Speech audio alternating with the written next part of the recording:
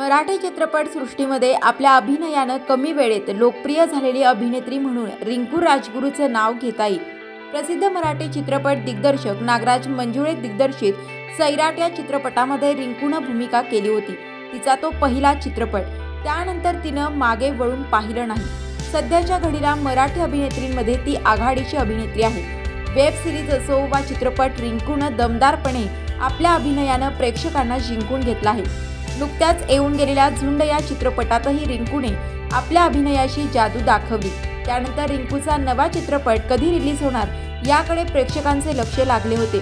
अखेर ही प्रतीक्षा संपली असून रिंकूने स्वतः याबाबत माहिती दिली आहे.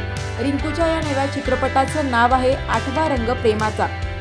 या चित्रपटाचं पोस्टर रिंकूने स्वतः आपल्या सोशल मीडिया अकाउंटवर शेअर केलं आहे. तिच्या प्रेमाचा एक नवा पैलू कृतिकाच्या दमदार भूमिकेत येत आहे रिंकू राजगुरू.